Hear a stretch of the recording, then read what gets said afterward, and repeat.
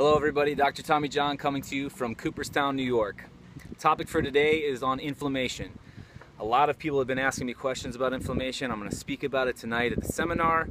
Um, everybody's view on it is very backwards and that can be very dangerous as we move forward in our healthy journey together on how to approach it.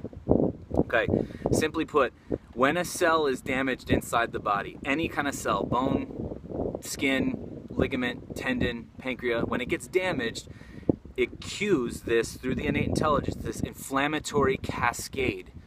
This is all so that it repairs that cell, that damaged cell. It brings in blood, it flushes out garbage, it brings in white cells, it brings in new vasculature. It, it, it does so much for the purpose of repair that it's vital. We want to thank God that inflammation is there. What we don't want to have is inflammation lingering for a period of time. Inflammation is there to heal and then let us know that there's damage done so that then we can take our bodies out of the environment it's been in to create this damage, forcing a healing response, and put it into a, a better healing environment.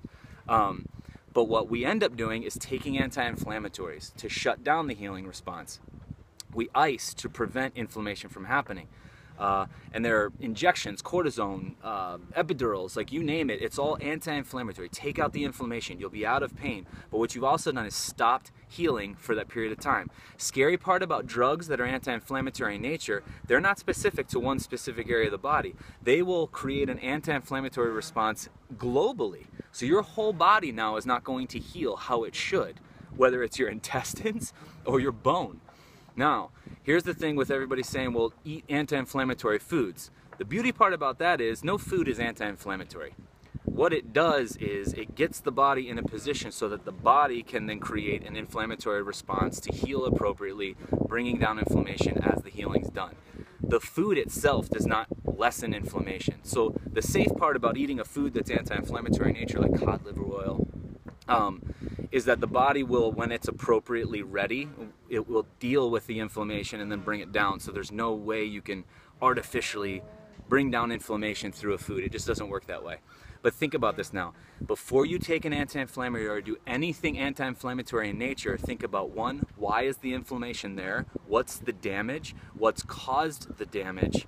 And do I really want to shut down this protective mechanism that's going about healing my system from the source? Something to think about. Inflammation is a very vital, necessary process. Thank you that we have it.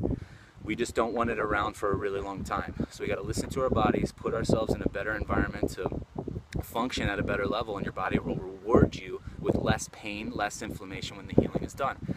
That's all for today. Dr. Tommy John, Cooperstown, New York. You have a good day.